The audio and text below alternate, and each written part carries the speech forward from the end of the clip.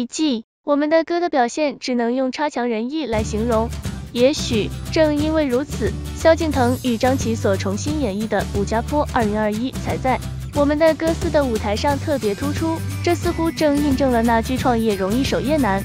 当然，在音综泛滥的内娱领域，一档综艺得以建立门户、打造品牌，以致深入人心，非但不易，而且是一件甚为困难的事。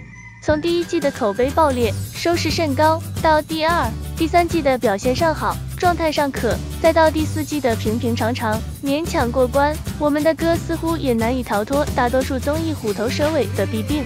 造成这个局面的原因也许是多方面的，但在三个方面比较突出。歌手的咖位，虽然歌手咖位高低这样的表述。多少带着一些不确定性与主观性，在不同人的眼里，同一位歌手可能会呈现出不同的歌唱水准与咖位。但综合来看，与第一季相比，我们的歌四歌手的整体咖位似乎的确是偏弱的。这样的表现不但体现在前辈榜样歌手身上，同样也体现在新生歌手身上。拿前辈歌手来说，在第一季就有费玉清、任贤齐、李克勤、周华健、那英、蔡健雅等。这样的前辈歌手阵容，放在哪一档音综节目中都是顶配与天花板级的。编曲太用力，从我们的歌四这一季来看，选歌也许还是恰到好处的，但许多曾经的经典老歌，在舞台上唱出来后，却似乎有些不痛不痒。为什么这些我们的歌唱出来后，却仿佛与我无关？问题也许在编曲上。拿刚刚播完的我们的歌四第十期来说，你的样子变了样子后，有些凌乱；而同样是林志炫的表演，因为爱情，用高贵的爵士乐编曲来承载普通而平凡人的爱情世界，明显用力过猛，力道大的结果往往会过犹不及。互动应加强。我们的歌的舞台，由于有前辈歌手、中间力量、新生歌手的区分，在制造话题的同时，加深了众歌手对我们的歌的共同感受与信念。通过三代歌手之间的沟通、交流与融合，使节目更具意义感与趣味性。在我们的歌四，虽然不乏三代歌手之间的有效互动，但却缺乏如我们的歌二中，飞行嘉宾空降时带给大众的意外惊喜。飞行嘉宾看似局外人，而与三代歌手之间的互动，往往会擦枪走火，放出光彩。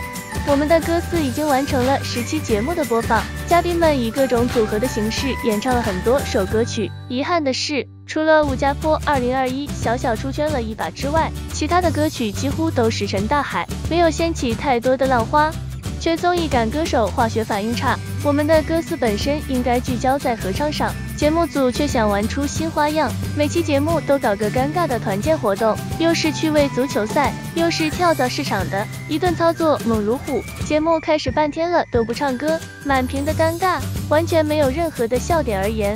究其原因，这一季的嘉宾缺少化学反应。大张伟、张远的综艺感还能稍好一些，其他嘉宾基本上都比较内敛，彼此组合之后也缺少融合。一加一最后并没形成大于二的效果，真人秀部分就会显得很无聊。主持人也格外抢戏，没事喜欢磕 CP，一言不合就 Q 新人点评演唱内容。本来新人不太善于表达，结果三番五次被 Q，只能硬着头皮夸赞，隔着屏幕都让人尴尬。没有综艺感就搞煽情，大家初见面都要说说自己悲惨的经历。为了让孟慧圆唱自己的原创作品，节目中上演大段煽情的戏码，嘉宾也要配合着流泪。日薪二百零八万的明星确实不能让人共情。